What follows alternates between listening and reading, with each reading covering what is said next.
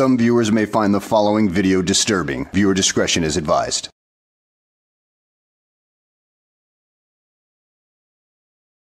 Well, hello and welcome back to the channel, everybody. In today's video, well, we're going to be taking a look at News Now Lisa as Andre Sloan reveals her criminal record. And you know what? This is really only the third time I've ever done her channel because, well, I tend to shy away from her because her content was, well, as boring as watching stale piss, as I commented in one of her videos.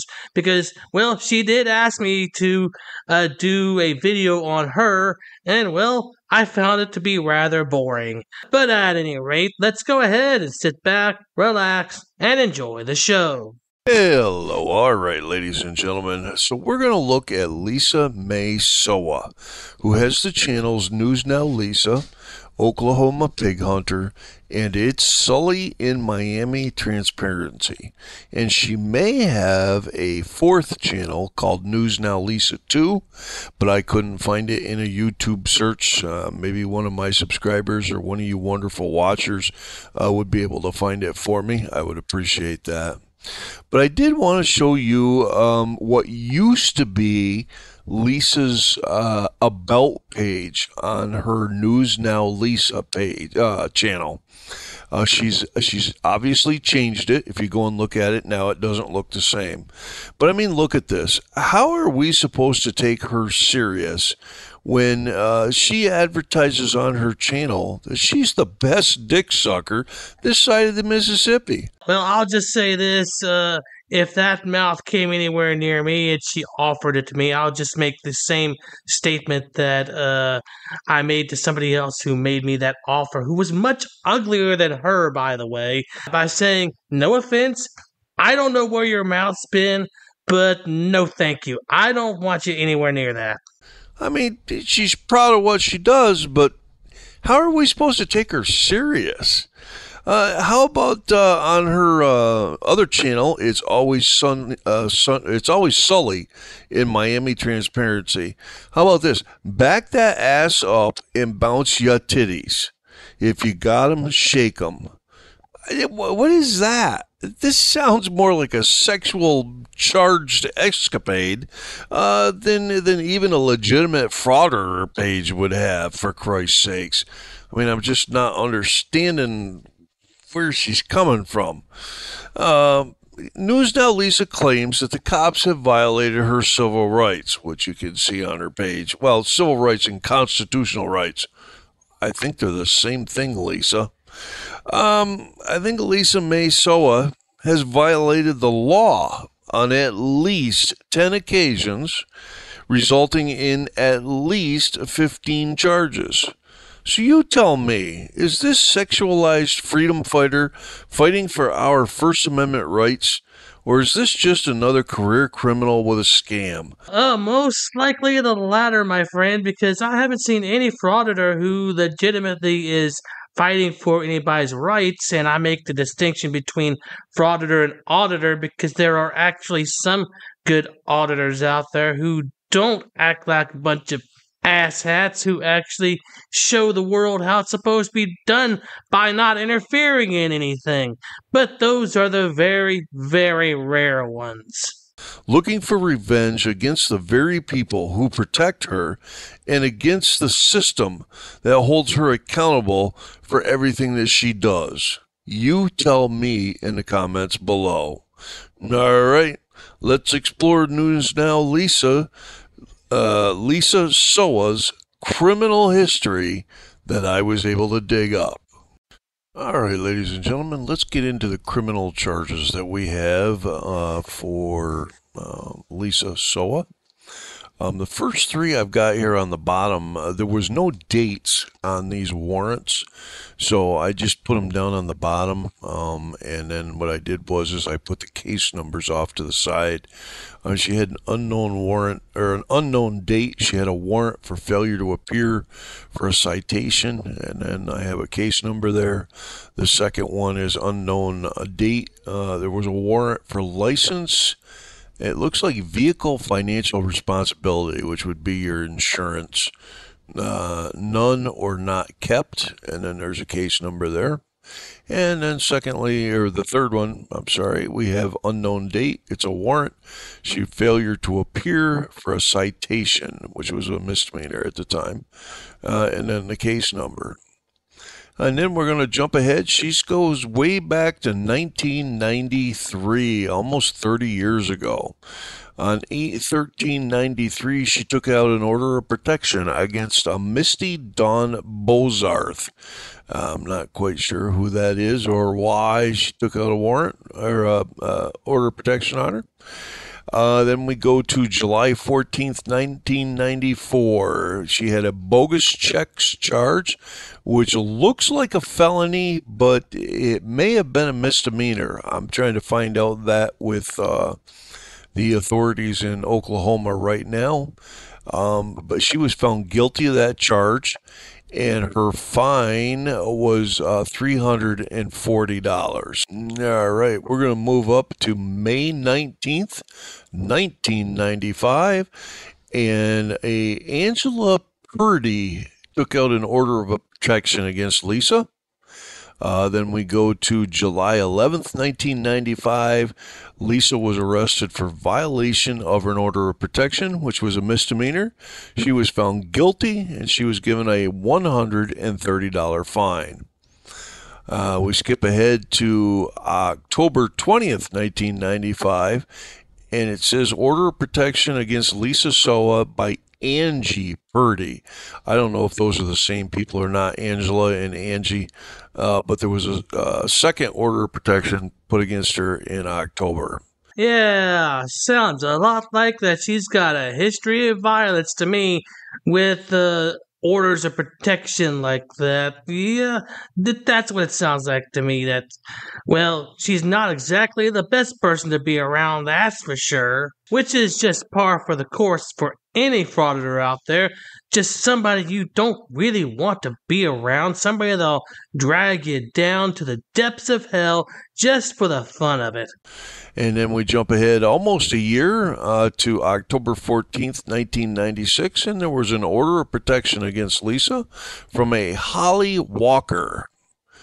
Uh, we jump ahead uh, a few months to May 12th, 1997, and that's supposed to be petty larceny. I don't know why I spelled larceny wrong. Uh, she had three charges of uh, petty larceny, all misdemeanors, and she was found guilty and given a $300 fine. On 11502, she had four charges uh, one, two, three, four. Yeah, I'm right. All right. So let's start at the top. Um, she was arrested for possession of a controlled substance, which was an aggravated misdemeanor. Uh, she was found guilty and given a $500 fine. She was arrested for gathering for use of marijuana, which was a serious misdemeanor, and she was found guilty. And I'm going to guess that the $500 fine covered both charges. Uh, then she was uh, same date she was arrested for possession of a controlled substance, which was a serious misdemeanor, and that was dismissed. And she was also arrested that date for possession of drug paraphernalia, which was a simple misdemeanor, and that was dismissed. It was probably the uh, told her that they would pay for or uh, they would convict her on a couple charges if she ah, let me rephrase that. They would dismiss a couple of the charges if she would plead guilty to the other two. Um, then we're going to jump ahead to, uh, see, September 9th, 1992. She had a contempt of district court, which was a serious misdemeanor, and that ended up getting dismissed. Uh, we 18 years uh, goes between uh, the charges. Uh, if she was in a different state, if somebody knows that, I can find, I can take a look and see if uh, uh, if there were charges in any other state. But it looks like she went 18 years without getting in any trouble. Yeah, no way she could have gone 18 years uh, without causing any trouble. She must have moved to another state, and well, they have the records. We just don't know which state they are in. But I'm willing to bet, yeah, that she did not stop causing trouble. Uh, and then she, on uh, April 23rd, 2020, she operated a motor vehicle without a license. Whoa, she's a big time criminal. Anyways, she was found guilty, given a $294 fine. And then very, very recently, on August 7th, 2023, uh, Lisa was picked up on a warrant because for uh, unpaid parking tickets. And I didn't see a disposition on that. I'm not quite sure if uh, they dropped it or she got charges. And Oklahoma seems to be pretty slow on uh, putting things on their system, on their database. Uh, we're going to go to, let's see, no, September 6th, 2005. Lisa had an eviction from an apartment that she lived in. Uh, and it looks like she still owes the uh, landlord $6,310. Now, this one here, I'm curious about. Lisa will have to come on the page or on my channel and tell me whether this is her or not. But I found a federal tax lien against uh, Lisa May Soa. That was for February 21st, 2019. Um, it was for a federal tax lien uh, for wages and investments for a total of $15,635 um, out of the Indianapolis, Indiana office. So, Lisa, if you're watching this video, which I really hope you are, do me a favor and uh, come on here and uh, let us know if uh, that was you or not. Yeah, I would like to know how you managed to owe the IRS $15,000. I mean, for somebody in your position, uh, that would be uh, a fortune. I mean, what the hell? Maybe give us a brief explanation of what happened there. That's a lot, a lot of tax uh, that uh, either you didn't pay or that they came up with that you owed in some way or another. So. So Lisa May Soa, as you can see up on top here, she also goes by the name Lisa May Walker, which may be her uh, uh, maiden name. Um, interestingly enough, I, I found a picture that's supposedly of her uh, being arrested, and her name was Brittany Jones, which is, uh, I'm not sure if that's an alias of hers or what is going on. Maybe she could let us know. Anyway, she uh, here's an email address for her that she uses, News Now Lisa. Uh, seems to do all of her videos in Miami, uh, Oklahoma. I'm think she still lives there, but she may live in an outskirts of that area, and that's just where she likes to go to videotape. Um, we have another email of us for uh, Lisa Soa at Hotmail. And the last job that I could find for her was at Harbor Freight's Tools. Uh, she was a cashier, and that was September of last year in 2022. As I said, she also has the channels Oklahoma Pig Hunter and it's always Sully in Miami Transparency. And she may have another channel called uh, News Now Lisa too. Well, thank you, Andre Sloan, for uh, yet another uh, expose on one of these so called freedom fighters. You know, the more he digs into this, the more it makes you wonder why people even follow these idiots. I mean, they're not fighting for anybody's freedom.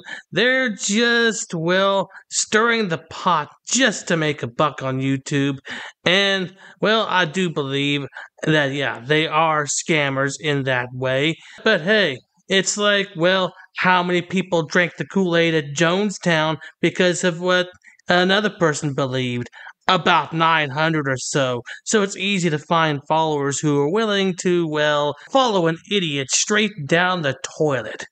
So, at any rate, guys, I hope you enjoyed the video. Thanks for watching, and I will see you on the next one.